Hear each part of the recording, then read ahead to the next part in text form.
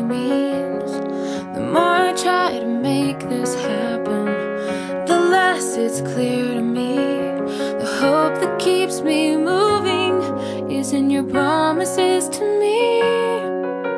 And right now, that's enough. It's gonna happen.